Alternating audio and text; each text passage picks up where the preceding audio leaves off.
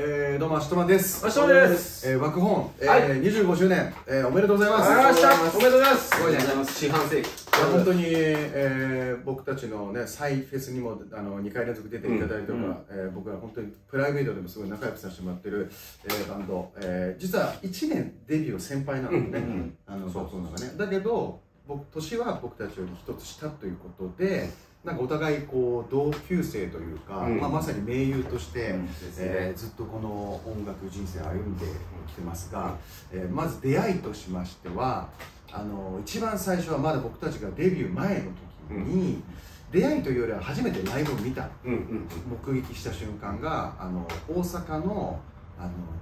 ねライブササーキットイベント。サーキットイベントがあって、そこでビッグキャットっていうところで爆音がやってて、ん。で俺はライブ終わった後に行ったのか前なのかちょっと覚えてないんだけどそれですあの最後の1曲だけ見に行ってでそれが「あの空星海の夜の」あの1曲だけだった最後に確かその締めをやってたと思うんだけど、うん。それをもうパンパンのビッグキャットで、だったね。ね、覚えてる、もう人が入りなんで、うんだから俺らからしたらもう本当にちっちゃちっちゃなライブハウスでやってた自分たちからしたらもうもうバック音が今度米粒ぐらいビ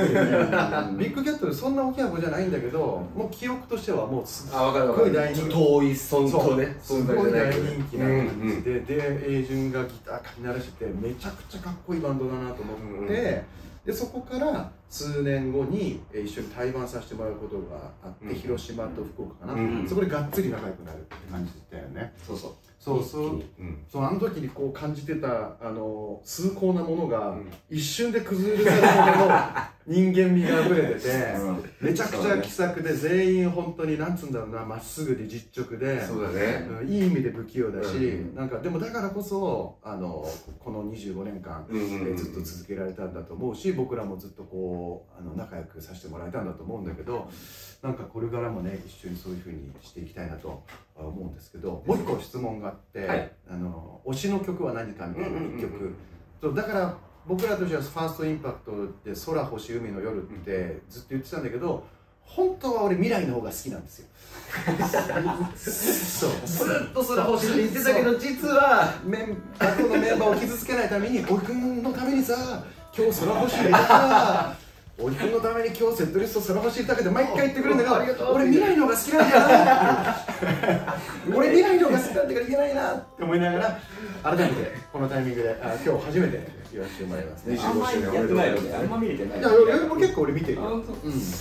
そうだすごい名曲がいっぱいあるんで、えー爆音。えーこれからもね、えーあの講師ともに、えー仲間でいて